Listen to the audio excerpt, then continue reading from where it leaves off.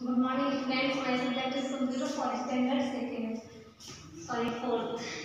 Standard fourth. And today we will write the question answer of American chapter three. Question number three. Two question मैं आपको लिखवा चुकी थी कल previous video में देखना. And question number three है which key will you use to delete a word to the left or the of the cursor? Cursor के लेफ़्ट में जो वर्ड है उसको अगर हम डिलीट करना चाहें तो कौन सी की यूज़ करेंगे कौन सी की का यूज़ होता है या हम कौन सी की यूज़ करेंगे अगर हमें कोई भी वर्ड डिलीट करना है कर्सर के लेफ़्ट से so answer is we will use delete key delete key use करेंगे to delete a word to the left of the cursor cursor के लेफ़्ट से जो भी वर्ड होगा, उसको डिलीट करने के लिए हमें डिलीट की का यूज़ करना पड़ेगा okay and question number four what will, what are undo and redo command? Undo और redo command क्या है?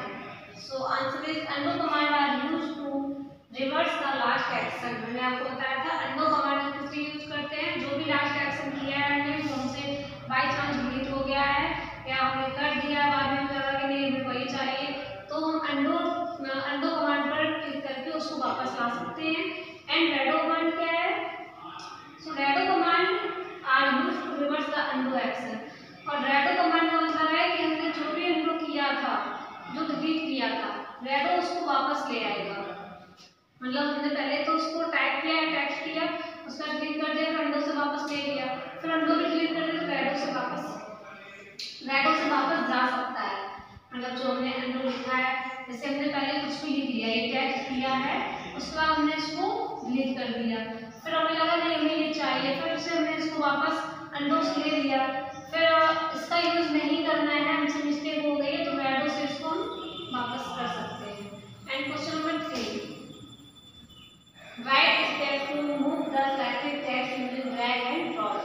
ड्रैग एंड ड्रॉप का जो भी सिलेक्टिव टेस्ट है जब हमने टेस्ट को सिलेक्ट किया है टेस्ट को मैंने सिलेक्ट करना बताया है, अगर हम उसको सिलेक्ट कर लेते हैं, उसको ड्रैग एंड ड्रॉप करना है तो हमें उसकी स्टेप्स लिखनी पड़ेगी उसको सिलेक्टिंग टेक्स्ट के मूविंग जो है तो step one click on the selected text selected text पर क्लिक करेंगे होल्ड डाउन उसको दबाएँगे माउस बटन को and step two move the mouse mouse को छोड़ेंगे टू ड्रैग ड्रैग मीन्स पर खींचना खींचते हुए मूव कराएँगे, या घुमाएँगे।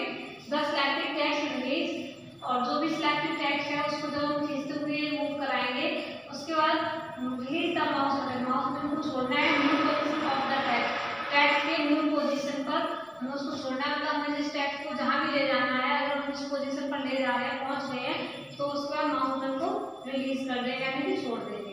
Okay so you have to learn this question